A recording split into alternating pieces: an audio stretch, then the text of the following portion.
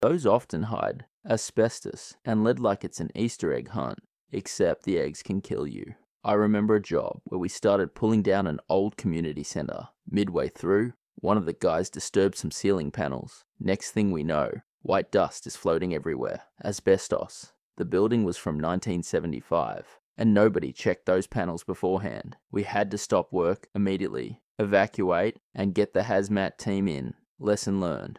Always test for asbestos and other hazards first. That's a great example.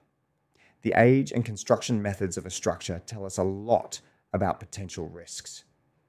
Before demolition, a thorough site review and engineering survey should flag things like is the concrete reinforced properly or is it brittle?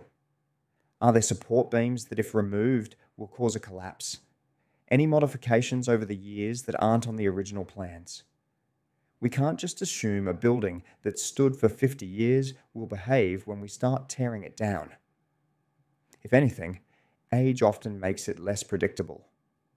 Absolutely. I've seen a wall come down unexpectedly because the water damage had eaten away the brick mortar on a 1940s building. It looks solid, but give it a little vibration, and boom, that wall was coming for us. Thankfully, we had cleared the area and were using machinery from a safe distance. But imagine if a worker had been right underneath, it would have been a bad day.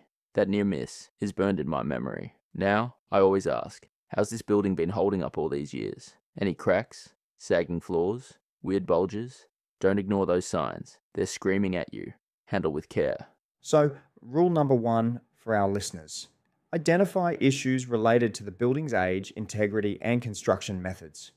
In practice, that means do your homework on the structure.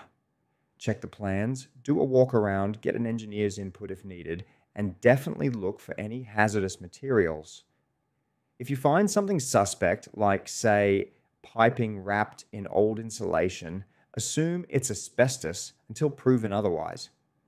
And if something looks structurally unsound, flag it. Better to shore it up or adjust your plan than become the guy in the accident report. Couldn't agree more. Knowledge is power on a demo site. The more you know about the building, the safer you can take it down. All right,